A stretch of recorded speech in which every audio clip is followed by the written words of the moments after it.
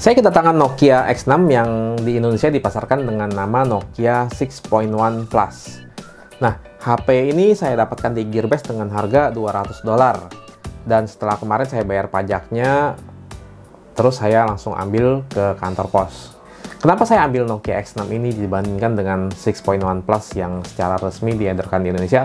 Karena pada awal diperkenalkan Nokia X6 ini dia membawa fitur NFC. Ketika di pasaran secara global katanya NFC-nya dihilangkan dan pas masuk ke Indonesia pun dengan berubah nama menjadi 6.1 Plus itu NFC-nya dihilangkan. Terus kan saya lihat di Gearbest tuh ada Nokia X6. Uh, eh, saya penasaran, makanya saya ambillah Nokia X6 ini. Isi boxnya standar aja, yaitu unit smartphone-nya, charger, kabel USB Type-C, terus kita juga akan mendapatkan jelly case dan SIM ejectornya. Varian warna yang saya ambil yang warna hitam, dan menurut saya sangat elegan. Bodinya nggak terlalu besar dan nyaman digenggam, karena displaynya mengadopsi desain notch, terus berukuran 5,8 inci di mana kebanyakan HP berdesain notch punya ukuran layar 6 inci ke atas. Material frame-nya dari aluminium, dan ketika saya cek di website resminya, sisanya berbahan kaca. Tertulisnya 93%. Saya penasaran, dan cek ke GSM Arena untuk cek materialnya. Nah, di GSM Arena, tertulis bodi bagian depan dan belakang menggunakan Gorilla Glass 3. Untuk membuktikannya, saya mengambil gunting dan coba menggores-gores bodi belakangnya. Di sini bisa kalian lihat sendiri. Nggak ada goresan ya, Tentunya saya nggak menggores dengan tenaga berlebihan, tapi kira-kira sewajarnya seperti apabila nggak sengaja tergores benda lain. Dan ini sudah merupakan nilai plus buat saya. Di bagian belakang ada dua buah kamera dilengkapi dengan LED flash, dan sensor sidik jari ada di bawahnya. Posisi sensor sidik jarinya ini udah cukup pas buat saya. Agak rendah sedikit sih. Sisi kanan ada tombol volume dan power yang tidak terlalu menonjol, namun masih cukup nyaman ditekan walaupun ketika kita memakaikan jelly case bawaannya.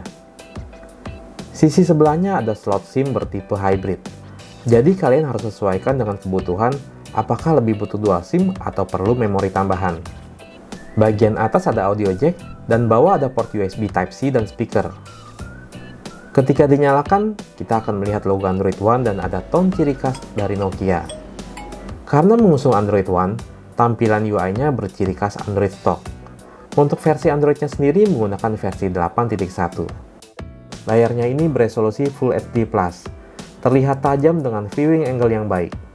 Warnanya juga enak dilihat. Di pengaturan layarnya ada pilihan adaptive brightness dan juga punya fitur ambient display. Nggak ketinggalan fitur double tap to wake.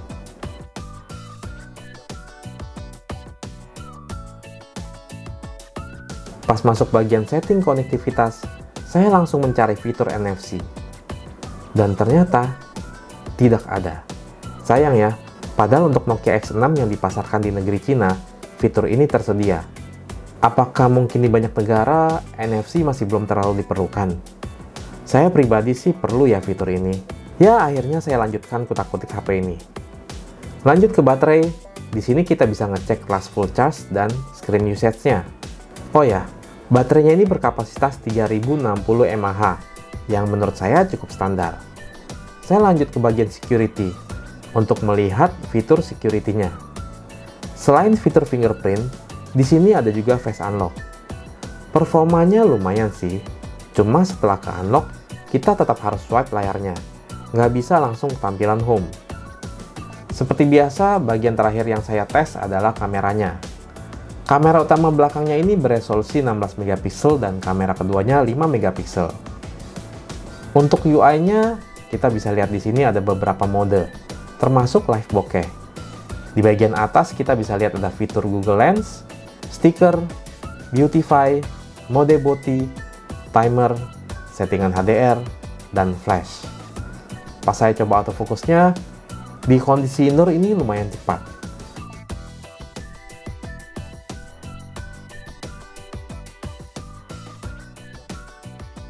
Lalu untuk shutter lag-nya juga masih oke, walaupun ketika HDR dinyalakan.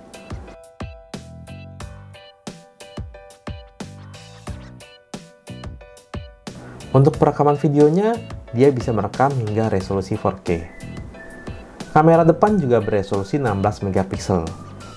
Untuk video, kamera depan Nokia ini bisa merekam hingga resolusi Full HD. Nah, berikut ini contoh-contoh foto yang saya ambil menggunakan Nokia ini.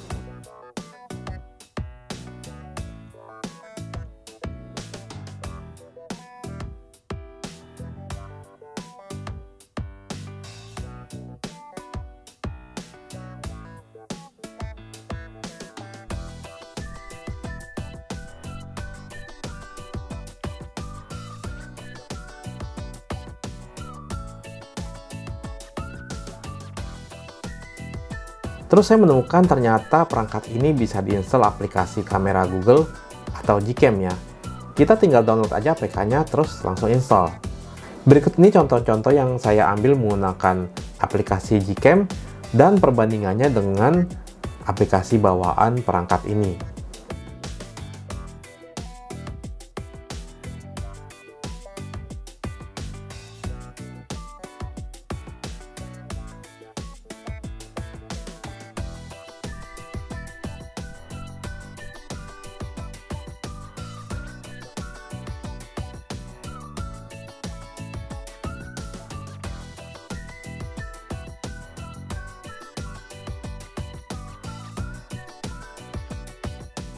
Kesan pertama saya terhadap perangkat ini sih saya cukup suka sebenarnya. Dia punya desain yang compact terus build quality-nya juga bagus desainnya juga cakep. Yang saya sayangkan sih cuma fitur NFC-nya aja dihilangkan ya. Mungkin karena pertimbangan harga kali ya jadi masuk ke sini biar bisa dipangkas. Jadi lebih bisa bersaing dengan eh, kompetitor lainnya atau mungkin juga pertimbangan dari HMD itu bahwa NFC itu masih jarang sekali digunakan di Indonesia. Saya sih kurang tahu soal itu. Mungkin teman-teman bisa bantu. Silahkan komen di bawah. Kebanyakan yang butuh NFC atau enggak.